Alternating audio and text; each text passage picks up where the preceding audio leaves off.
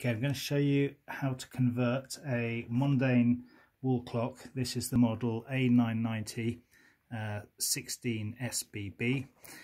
When it comes from Mondaine, you get a clock which just has a basic quartz movement in it, it ticks. And as you can see from this one, I bought this broken, had the movement was broken, it is now converted into a sweep second hand, which is what I really like about these clocks. I looked for a lot of clocks which had the lollipop second hand, which I really like. I couldn't find any. The only one I could find was the were these Mondaine ones.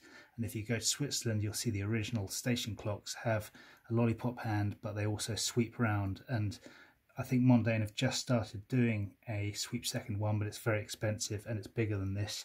This is a 25 centimeter, I believe. It's 25 centimeters and as you can see it's sweeping. Not only is it sweeping, it is atomic controlled, it's radio controlled, it's receiving a, a time signal.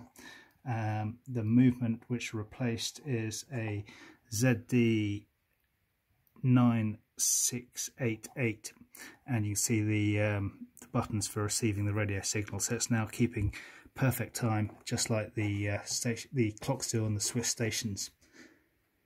The, the hands that come with this are a German size, so they're 5 millimeters and 3 millimeters for the second hand for the collet size.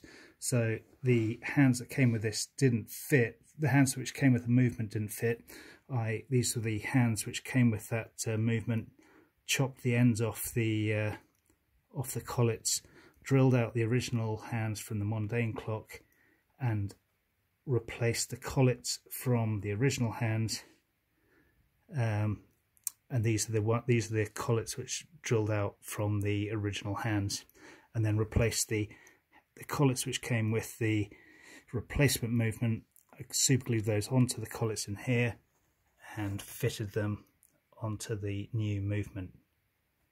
I spoke to a couple of people. They said this couldn't be done but this is proving that it can one of the problems people say happens is the because of the weight of the lollipop hand the movement doesn't have the power to drive it.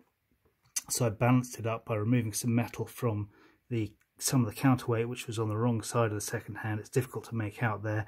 You can just see it on the on the inside here. I just used a Dremel remove some metal to lighten the hand to get it a bit balanced. It's not perfect but you can see the clock still drives it no problem keeping perfect time and I'm very happy.